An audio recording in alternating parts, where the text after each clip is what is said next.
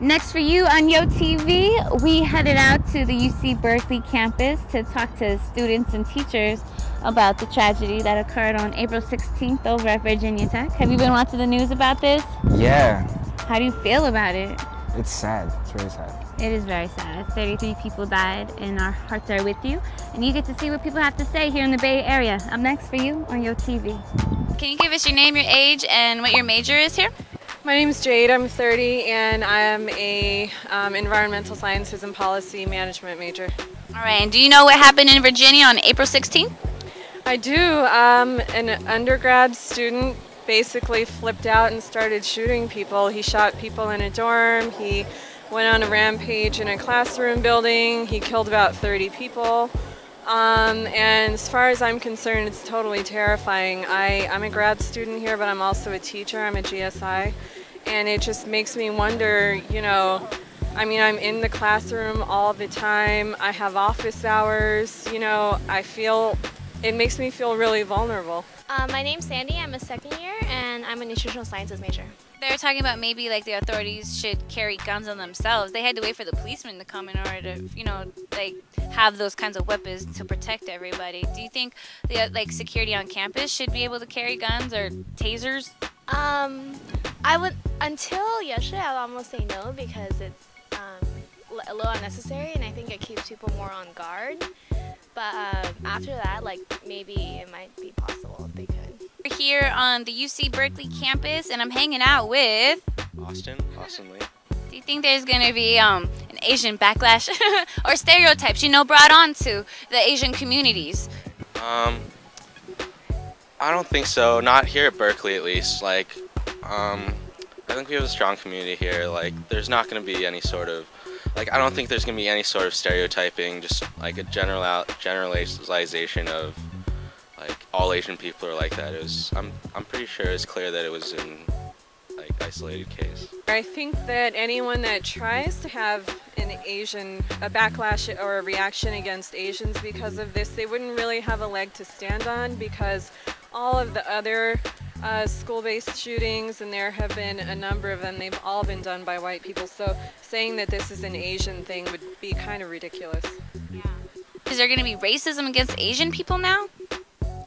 Um, I think it's possible. I know definitely some parents are worried about it, and um, but I'm not sure how prevalent it's going to be in Berkeley since Berkeley is so like highly Asian populated. Like I think it's like 60% Asian or something. So I'm not too worried about it you know, for everyone out there that's going through some rough times, you know, get some counseling, you know, talk to someone, hang out with your friends a little bit more. It doesn't have to be that bad, and you definitely don't have to let it get to this point. So, I don't know, I would just say that if people are struggling, and I know that this guy was going through depression, I read that he was on antidepressants and, you know, he was having personal problems. Um, I don't know. I think there, there's no shame in getting help and getting counseling. So for people that are just struggling, going through tough times, get some help and don't don't don't do this. Because college is hard. and we're here with Jean right now, and we're gonna ask her some questions, her opinions on this subject. Um, I think one of the uh, you know, uh, everyone's going crazy, or everyone thinks it's a crazy subject because he killed so many people, and then they're they're touching on like the fact that he was a, a creative writing major and he wrote crazy stories. Do you do you know more about this, like about the letters he wrote to um, the author, or like I think he left a note or something like that? Do you know what I'm talking about?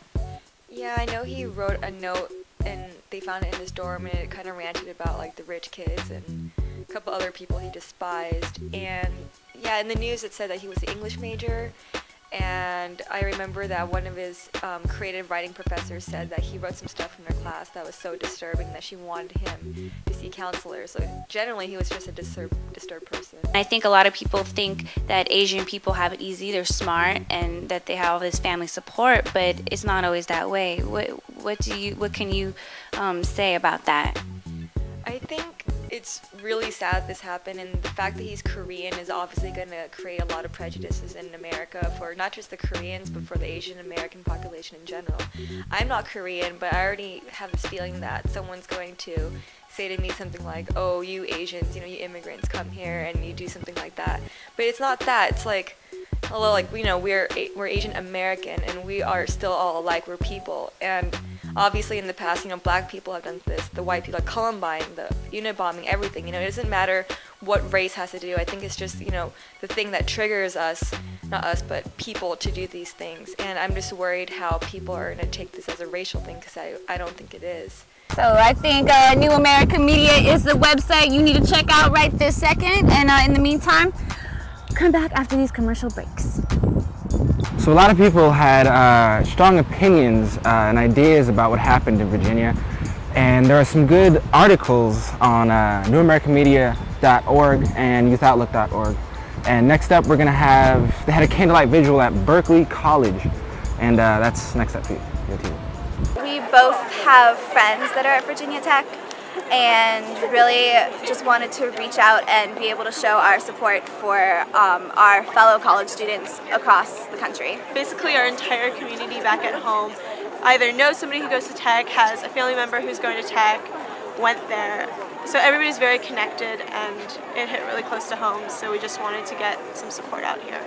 So what this person from Tech wrote is, to Hokies everywhere, do not let these deaths be forgotten. We as a Hokie nation must now rally around our battle cry. Let us give Hokies United new meaning. Let us as a student body, alumni, faculty, supporters, and fans everywhere stand together and show what being a Hokie is all about.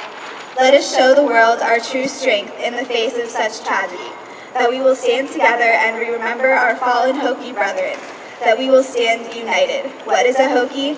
I am. And I think it's just really important for us to all realize that we are all Hokies, we're all college students. We all can understand what this would be like for it to happen on our campus. And just to really reach down and realize how they must be feeling at Tech. Do you think that racial tension might be an issue here? After any type of event like this, there's some sort of backlash. Like Columbine, there was like, oh, there are these, you know, nice The white, goth loners. yeah, goth loners, like white. But I think that all passes once people realize it doesn't have anything to do about their their like ethnic background. It really just has to do with the environment and their mental stability. I don't know anything about the mental health services that are set up at Tech, but I know definitely at every college campus there are services, and at least at Cal, I found that there have been, for any tragedy that there's been, there's always an opportunity, always an email saying where to go if you need help. Thank you everyone for showing their support, it really means a lot. We know it means a lot to everyone back home.